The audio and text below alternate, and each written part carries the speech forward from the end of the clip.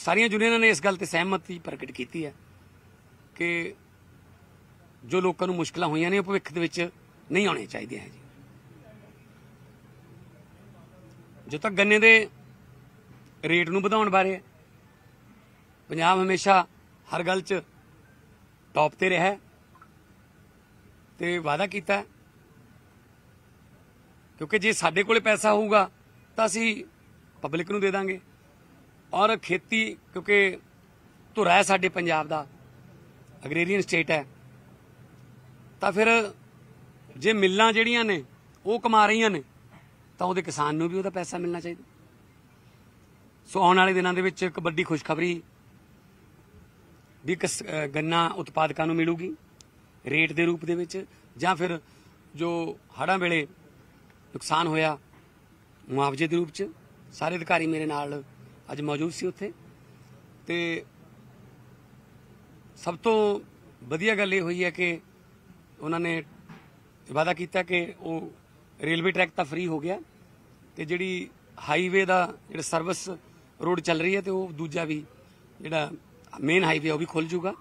ਤੇ ਭਵਿੱਖ ਦੇ ਵਿੱਚ ਇਸ ਤਰ੍ਹਾਂ ਦੀ ਨੌਬਤ ਨਾ ਸਰਕਾਰ ਵਾਲੇ ਪਾਸਿਓਂ, ਨਾ ਹੀ ਕਿਸੇ ਵੀ ਸੰਗਠਨ ਵਾਲੇ ਪਾਸਿਓਂ, ਭਾਵੇਂ ਉਹ ਕਿਸਾਨ ਯੂਨੀਅਨਾਂ ਨੇ ਭਾਵੇਂ ਉਹ ਕੋਈ ਮੁਲਾਜ਼ਮ ਜਥੇਬੰਦੀਆਂ ਨੇ, ਭਾਵੇਂ ਕੋਈ ਦੁਕਾਨਦਾਰ ਨੇ, ਵਪਾਰੀ ਨੇ, ਇਹ ਟ੍ਰੈਂਡ ਜਿਹੜਾ ਆਮ ਲੋਕਾਂ ਨੂੰ ਤੰਗ ਕਰਨ ਦਾ।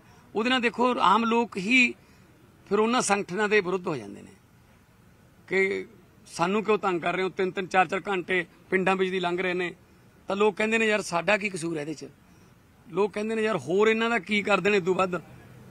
ਜਿੰਨਾ ਹੋ ਰਿਹਾ ਸੋ ਸਾਰੇ ਪੰਜਾਬ ਦੇ ਵਿੱਚ ਅਸੀਂ ਖੁਸ਼ਖਬਰੀ ਜਾਂ ਖੁਸ਼ਹਾਲੀ ਵਾਲਾ ਮਾਹੌ- ਮਾਹੌਲ ਲੈ ਕੇ ਆਉਣਾ ਹੈ।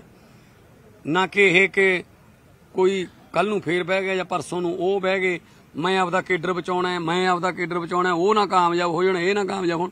ਇਹ ਗੱਲਾਂ ਜਿਹੜੀਆਂ ਇਹ ਛੱਡਣੀਆਂ ਪੈਣੀਆਂ।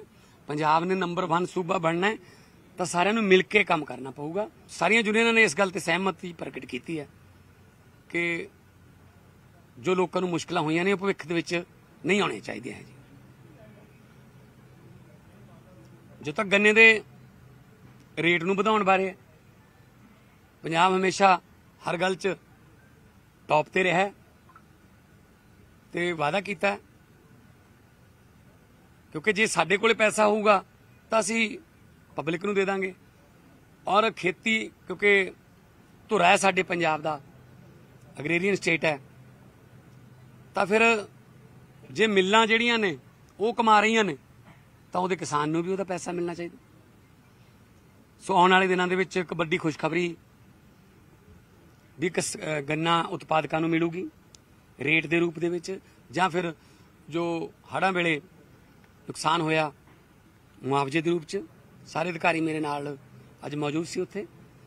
ਤੇ ਸਭ ਤੋਂ ਵਧੀਆ ਗੱਲ ਇਹ ਹੋਈ ਹੈ ਕਿ ਉਹਨਾਂ ਨੇ ਵਾਅਦਾ ਕੀਤਾ ਕਿ ਉਹ ਰੇਲਵੇ ਟਰੈਕ ਤਾਂ ਫ੍ਰੀ ਹੋ ਗਿਆ, ਤੇ ਜਿਹੜੀ ਹਾਈਵੇ ਦਾ ਜਿਹੜਾ ਸਰਵਿਸ ਰੋਡ ਚੱਲ ਰਹੀ ਹੈ ਤੇ ਉਹ ਦੂਜਾ ਵੀ ਜਿਹੜਾ ਮੇਨ ਹਾਈਵੇ ਉਹ ਵੀ ਖੁੱਲ ਜੂਗਾ ਤੇ ਭਵਿੱਖ ਦੇ ਵਿੱਚ ਇਸ ਤਰ੍ਹਾਂ ਦੀ ਨੌਬਤ ਨਾ ਸਰਕਾਰ ਵਾਲੇ ਪਾਸਿਓਂ, ਨਾ ਹੀ ਕਿਸੇ ਵੀ ਸੰਗਠਨ ਵਾਲੇ ਪਾਸਿਓਂ, ਭਾਵੇਂ ਉਹ ਕਿਸਾਨ ਯੂਨੀਅਨਾਂ ਨੇ, ਭਾਵੇਂ ਉਹ ਕੋਈ ਮੁਲਾਜ਼ਮ ਜਥੇਬੰਦੀਆਂ ਨੇ, ਭਾਵੇਂ ਕੋਈ ਦੁਕਾਨਦਾਰ ਨੇ, ਵਪਾਰੀ ਨੇ, ਇਹ ਟ੍ਰੈਂਡ ਜਿਹੜਾ ਆਮ ਲੋਕਾਂ ਨੂੰ ਤੰਗ ਕਰਨ ਦਾ। ਉਹਦੇ ਨਾਲ ਦੇਖੋ, ਆਮ ਲੋਕ ਹੀ ਫਿਰ ਉਹਨਾਂ ਸੰਗਠਨਾਂ ਦੇ ਵਿਰੁੱਧ ਹੋ ਜਾਂਦੇ ਨੇ। ਕਿ ਸਾਨੂੰ ਕਿਉਂ ਤੰਗ ਕਰ ਰਹੇ ਹੋ? ਤਿੰਨ ਤਿੰਨ ਚਾਰ ਚਾਰ ਘੰਟੇ ਪਿੰਡਾਂ ਵਿੱਚ ਦੀ ਲੰਘ ਰਹੇ ਨੇ। ਤਾਂ ਲੋਕ ਕਹਿੰਦੇ ਨੇ, ਯਾਰ, ਸਾਡਾ ਕੀ ਕਸੂਰ ਹੈ ਇਹਦੇ 'ਚ? ਲੋਕ ਕਹਿੰਦੇ ਨੇ, ਯਾਰ, ਹੋਰ ਇਹਨਾਂ ਦਾ ਕੀ ਕਰਦੇ ਨੇ ਇਦੋਂ ਵੱਧ ਜਿੰਨਾ ਹੋ ਰਿਹਾ ਸੋ ਸਾਰੇ ਪੰਜਾਬ ਦੇ ਵਿੱਚ ਅਸੀਂ ਖੁਸ਼ਖਬਰੀ ਜਾਂ ਖੁਸ਼ਹਾਲੀ ਵਾਲਾ ਮਾਹੌਲ ਲੈ ਕੇ ਆਉਣਾ ਨਾ ਕਿ ਇਹ ਕਿ ਕੋਈ ਕੱਲ ਨੂੰ ਫੇਰ ਬਹਿ ਗਿਆ ਜਾਂ ਪਰਸੋਂ ਨੂੰ ਉਹ ਬਹਿ ਗਏ, ਮੈਂ ਆਪਦਾ ਕੇਡਰ ਬਚਾਉਣਾ ਹੈ, ਮੈਂ ਆਪਦਾ ਕੇਡਰ ਬਚਾਉਣਾ ਉਹ ਨਾ ਕਾਮਯਾਬ ਹੋ ਜਾਣ, ਇਹ ਨਾ ਕਾਮਯਾਬ ਹੋਣ। ਇਹ ਗੱਲਾਂ ਜਿਹੜੀਆਂ ਇਹ ਛੱਡਣੀਆਂ ਪੈਣੀਆਂ। ਪੰਜਾਬ ਨੇ ਨੰਬਰ 1 ਸੂਬਾ ਬਣਨਾ ਤਾਂ ਸਾਰਿਆਂ ਨੂੰ ਮਿਲ ਕੇ ਕੰਮ ਕਰਨਾ ਪਊਗਾ।